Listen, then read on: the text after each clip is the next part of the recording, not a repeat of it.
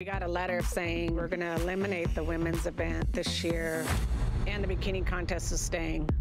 That's where we had to take a stand. Uh, that's the scene from the documentary Girls Can't Surf, just one of the films that will be shown during this week's Solento Surf Film Festival at the La Paloma Theater in Encinitas. It kicks off tonight, and while things are all sold out, we're happy to have two of the men behind the festival, Taylor Steele along with surfing legend Rob Machado, about how the money raised from the festival will go to good causes. Gentlemen, thanks for joining us here today. Thank you.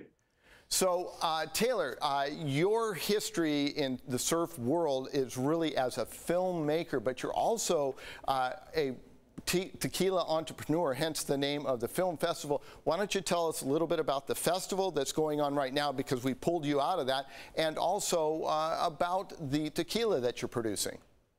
Yeah, well, the film festival was, you know, these last couple years that we've all been separated, and it was an idea of just bringing the community together in Encinitas and celebrating all the things that we should be thankful for being present, the ocean, our community, and everything like that. So I rounded up a bunch of musicians, some surf celebrities, and created a three day festival.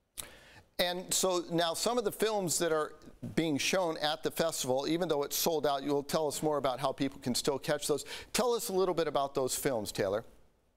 Yeah, the, the films are really diverse from some are having a 30 year anniversary that Kelly Slater's in to um, some brand new ones that aren't out yet, uh, like Girls Can't Surf. And there's documentaries, there's more traditional surf films, and then there's conversations and, and great music. So it's a, it's a wide range of things. And now, Rob, you become part of a legend here in San Diego as well as around the world as a surf hero and, well, incredible surfer. You got involved because this festival brings uh, funds to Changing Tides Foundation, Surf Aid, and your very own foundation, the Rob Machado Foundation. Tell us a little bit about that and how you got involved with all of this.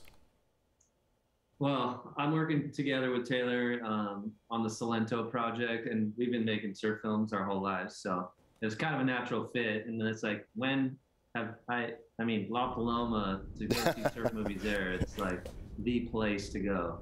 So, um, you know, Taylor approached me about involving the um, the foundation, my foundation specifically, and yeah, no brainer. You know, we work locally here with schools to um, provide environmental education for kids, um, mainly putting uh, water refill stations in schools um, and eliminating single-use plastics.